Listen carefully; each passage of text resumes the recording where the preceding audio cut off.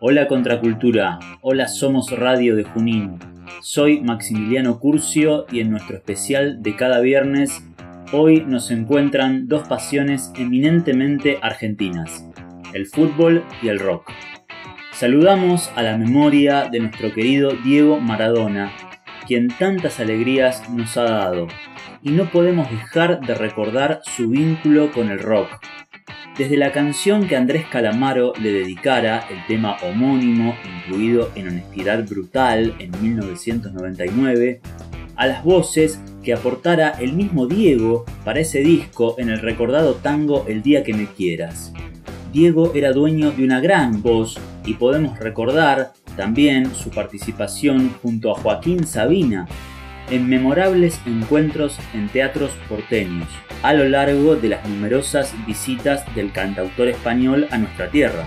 El rock y Maradona son dos pasiones que proyectan su sintonía en canciones ya clásicas, como la que el grupo Los Piojos grabara en Tercer Arco en 1992, o también Charlie García junto a Claudio Gavis, el recordado ex Manal, quienes hicieron lo propio para el disco Convocatoria en 1994 con el tema Maradona Blues. Hablamos de Maradona y recordamos la despedida en el partido homenaje en la Bombonera en 2001 con los ratones paranoicos y el zorrito Bon Quintiero tocando el himno titulado Para siempre. Hablamos de Maradona y rock y recordamos a Diego junto a dos jóvenes Fito y Andrés en 1993 cantando Y dale alegría a mi corazón en la concentración del seleccionado argentino de fútbol. Y hablamos de rock y fútbol, también como pasión de multitudes y escuchamos temas del mencionado Fito Páez convertidos en auténticos himnos de estadio, como Mariposa Technicolor. Como podemos ver, los nexos se multiplican y la emoción nos invade.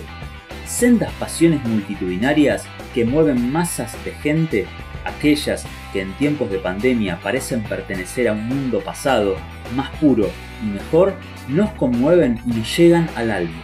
La relación del fútbol con el rock encierra magia, encanto, fervor, también a veces un llamado a conciencia y un abordaje en absoluto luminoso. Si echamos la mirada atrás, recordaremos el año 1988 en el disco Tester de Violencia.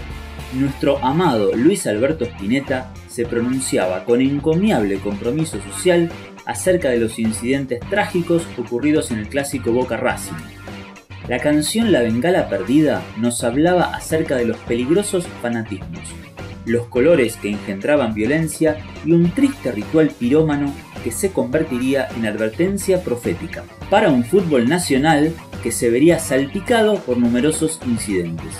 La poesía del flaco hoy nos sigue haciendo reflexionar, aunque las canchas continúen vacías. Toda pasión tiene esa contradicción, y tanto en el fútbol como en el rock se engendra nuestra identidad y termómetro popular. Salud Diego y un cálido abrazo de gol para todos ustedes. Nos encontramos muy pronto otra vez en este espacio.